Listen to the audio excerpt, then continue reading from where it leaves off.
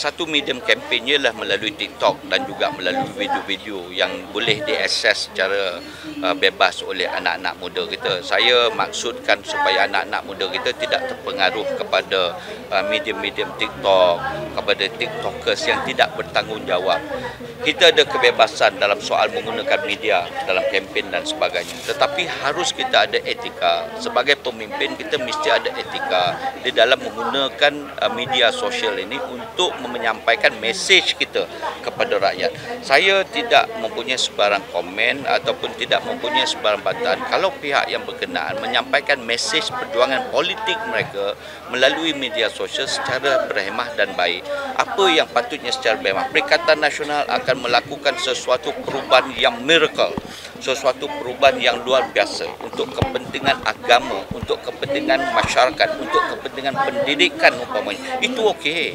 Tetapi tidak menggunakan media sosial sebagai satu medium fitnah yang boleh mendatangkan kebencian rakyat terutamanya golongan muda kepada pemimpin kita.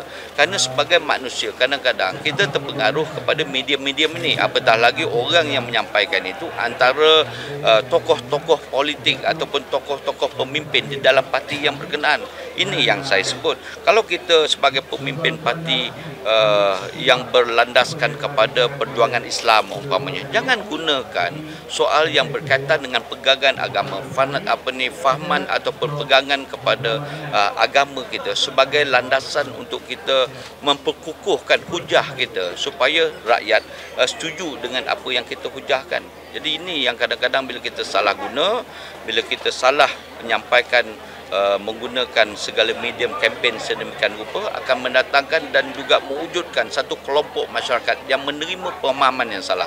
Ini yang saya sebut supaya orang muda harus berfikir dan juga harus menerima satu konsep dan kaedah secara secara realiti. Pandang untuk tempoh lima tahun yang akan datang. Pandang kepada pembangunan, pandang kepada perkara dan struktur yang akan dilakukan oleh kerajaan dalam semua aspek pembangunan, pendidikan, uh, uh, kusawanan, pembelaan kepada masyarakat, malah yang lebih penting kepada kesejahteraan masyarakat daripada pelbagai kaum dan bangsa, perpaduan antara kita. Ini yang mesti mereka lihat. Kita tak nak negara huru-hara, kita tak nak negara tidak diurus dengan baik.